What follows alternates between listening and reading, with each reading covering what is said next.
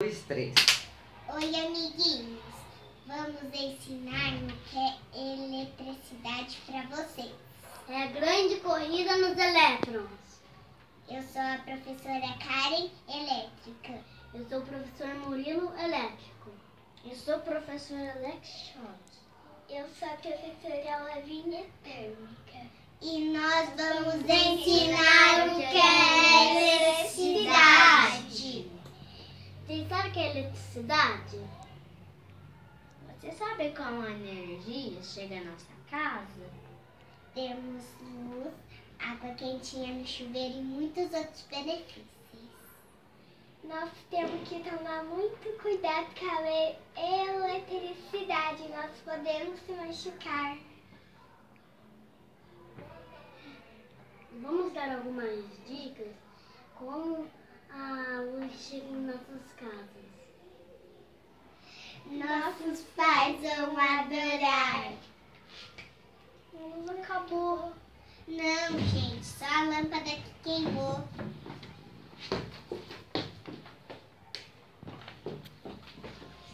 Pronto, já teria aquele problema resolvido. Então vamos à aula de hoje.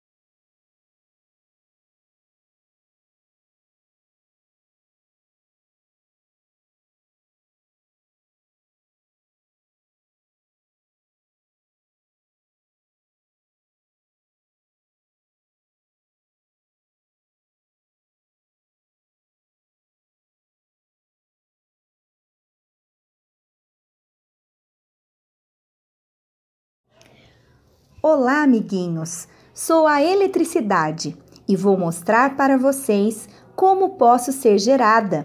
Vou mostrar a energia mais limpa e barata que temos e que não afeta o meio ambiente. Sabem qual é? A água.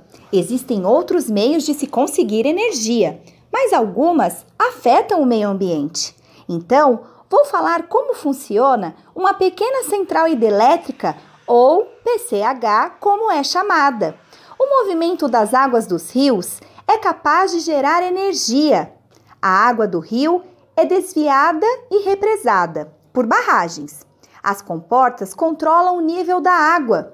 Se chover muito, a água é controlada pelos vertedouros, evitando alagamentos. A água represada entra com força nos dutos e segue em direção às turbinas, responsáveis pela geração de energia. A turbina é formada por várias pás. A água passa por estas pás, acionando o gerador da usina, transformando a energia mecânica em energia elétrica, os elétrons. Depois, um transformador aumenta a tensão da energia, permitindo que ela viaje pelos fios, chegando em nossas casas a água é devolvida 100% para o rio, podendo ser usada para lavouras e recreação. Por isto, as PCH são consideradas mundialmente como energia limpa.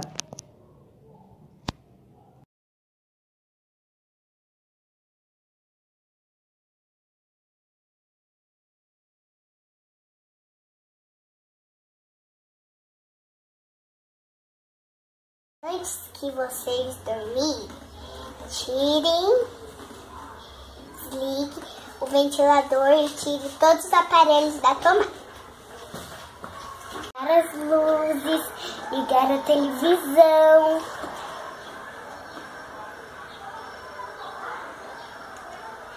Começar a água.